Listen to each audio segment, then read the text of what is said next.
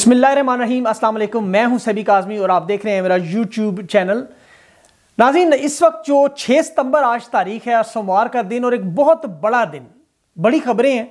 मैं आपके सामने रखता हूँ, आपको अंदाज़ा होगा, सबसे पहले तालिबान के सुप्रीम लीडर के हवाले से बड़ी खबर, फिर पंशेर वादी की बात करेंगे। कारी फसीुद्दीन के बारे में एक बड़ी खबर। अहमद मसूद और अमरुल्ला सालह इस वक्त किस हाल में इसके बारे में आपको मैं बताता हूँ, जो अभी अभी खबर आई है। पाकिस्तान का एक बड़ा दुश्मन पंशीर वादी में मारा गया। पाकिस्तान, अफगान तालिबान के लिए अरब दुनिया में, सऊदी अरब, कुवैत, बहरीन में क्या करने पाकिस्तान जा रहा है और ख़वातीन को इस जंग में कैसे इस्तेमाल किया जा रहा है? और अब अमेरिका और बरतानिया के एक हज़ार लोगों के जहाज़ को क्यों अफगान तालिबान नहीं उड़ने दे रहे? इन सब बातों पर मैं आपको तफसील से बताता हूँ। कल मैंने नाजीन आपको पहले ही बता दिया था कि वादी पंशीर जो है वो फतह हो चुकी है, अब सिर्फ़ रस्म बाकी है और ये बिल्कुल उसी तरह हुआ। इस पर हिंदुस्तानी कमांडर के आप अल्फाज याद करें कि जो लाहौर में नाश्ता करने की छह सितंबर को उन्होंने ख्वाहिश की थी कि जी हम वहाँ जाकर नाश्ता करेंगे।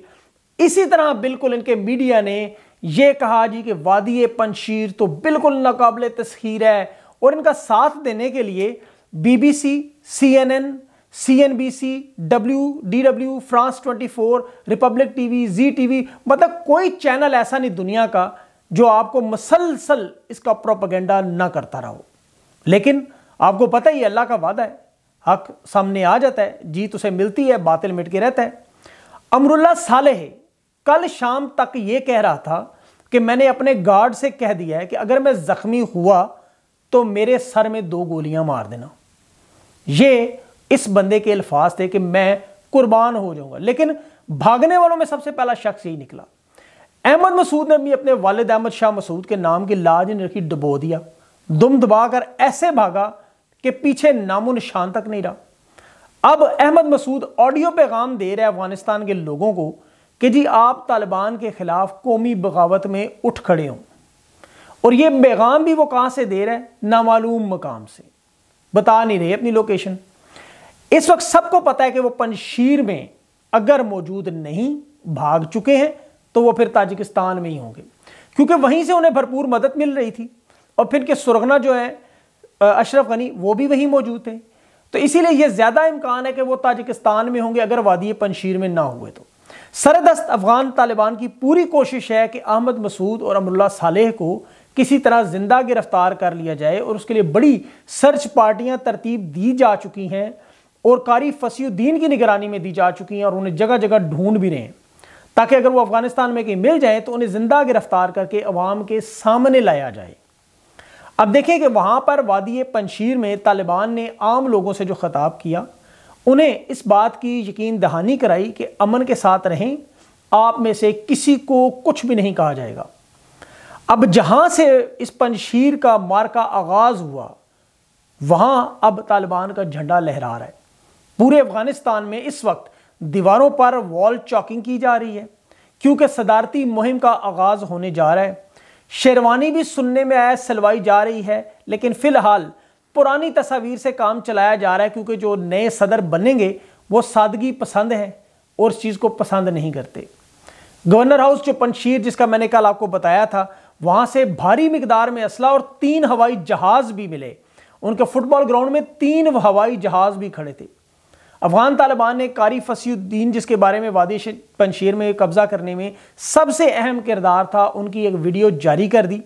क्योंकि भारतीय मीडिया और वेस्टर्न मीडिया ये शोर मचा रहा था कि वो अब ज़िंदा नहीं है।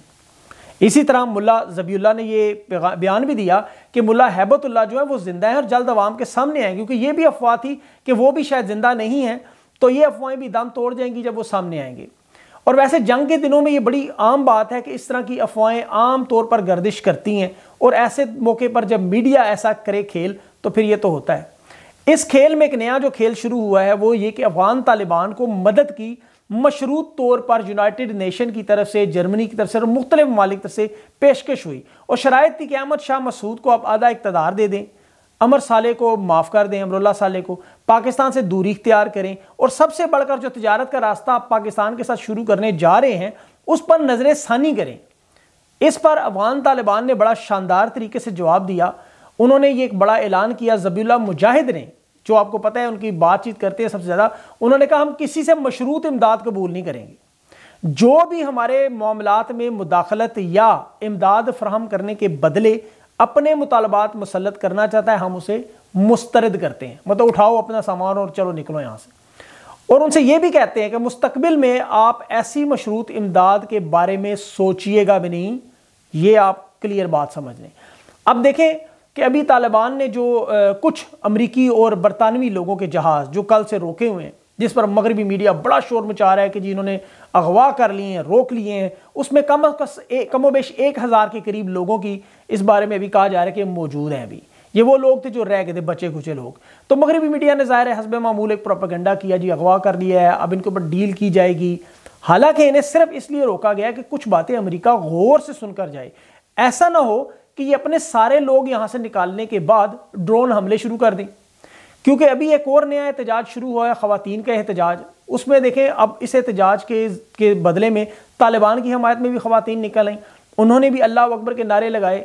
और अब जो लिबरल पसंद ख़वान हैं, वो भाग खड़ी हुई और उसके बाद उनमें से कुछ ने ये बात की कि हम यहाँ सिर्फ़ इसलिए आई हैं कि कुछ हमारी तस्वीर बन जाए, कुछ हमारी वीडियोस बन जाए मोबाइल पर, ताकि हम किसी भी दुनिया के गैर मुल्क में जाकर, मगरबी मुल्क में हम ये वीडियोस और तस्वीर दिखाकर वहाँ पर पना ले सकें। क्योंकि सब जानते हैं कि मगरब में पना लेने का यही तरीका है कि आप वहाँ जाके बताएँ कि आपकी जान को बड़ा शदीद ख़तरा था। और आप अपने थोड़े से नफ़े के लिए चाहे पूरी भैंस मार दें। आपको कोई नुकसान नहीं होना और उसका आपको फ़ायदा ही हो जाएगा, आपको वहाँ पर सिटीज़नशिप मिल जाएगी। मज़ार शरीफ में जो ख़वान हैं, उन्होंने अलबत्त ये कहा कि नई हुकूमत में अहदे दिए जाए। इस पर तालिबान ने उन्हें जवाब दिया, हम आपकी बात अपने बड़ों तक पहुँचा देंगे। फिर फैसला उनका है, लेकिन आप, ये मीडिया आज अखबारें खोल लें तेरह सत्रह अखबारें मैंने पढ़ी, सब में यही खबर थी बार बार कि औरतों का जुल्म हो रहा है। अब मीडिया में जो लड़ाई की जा रही है, इसमें बार बार बताया जा रहा है कि जी वादी पंशेर बड़ी नाकबिल तस्हीर है और मजामती फोर्स तालिबान को बुरी तरह शिकस्त दे रही है। ये इंडिया देखा उस टेक्नोलॉजी से आईटी की मदद लेकर प्रोपेगेंडा करते रहे। मुसलसल, लेकिन मजामती फोर्सेज जब जो थी, उन्होंने अपनी जीत का बड़ा शोर मचाया। लेकिन सिर्फ़ एक रात में वो भी सारी की सारी धड़ाम से गिर गई। और ये बात साबित होगी कि जंग जो है, वो कंप्यूटर पर बैठकर नहीं लड़ी जा सकती। अब कीबोर्ड वॉरियर बेशक बने, असल जंग जो है, वो मैदान में कुछ और होती है। तालिबान ने अंदरूनी फ़्लाइट ऑपरेशन भी शुरू कर दिए हैं। इवन कि उनके रडार अभी नहीं चल रहे, अंदरूनी मुल्क के अंदर जो परवाजें हैं वो शुरू हो चुकी हैं।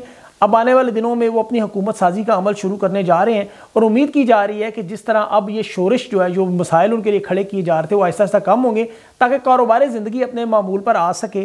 और दोबारा ये लोग अपना सियासी सफ़र शुरू कर सकें और इसमें अपने अपने जो पाकिस्तान भी एक बड़ा अहम किरदार अदा करने जा रहा है, वो ये कि अरब ममालिक के साथ बातचीत करके, अफ़गानिस्तान के साथ उनके जो तल्लक उनको तस्लीम करना और उसमें ये बड़ी अहम चीज़ है। और एक वादी पनशेर के ऑपरेशन के दौरान एक और अहम बात आपको बता दूँ, एक शख्स मारा गया हसीब कोई मरकज़, उसका नाम था। ये बड़ा बदनामी ज़माना, बदनाम मुजरम था। भत्ता अगवा टारगेट किलिंग में मुलविस था। और सबसे बढ़कर हिंदुस्तान के लिए एन डी एस के लिए इसने बड़ा काम किया।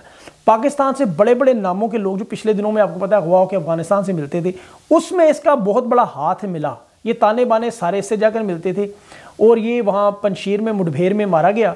और अभी मुल्क भर में, देखिए, ये एक बहुत बड़ा दुश्मन था, जो कि हमारे पाकिस्तान का एक कम हो गया। दूसरे मामले में आप ये समझें।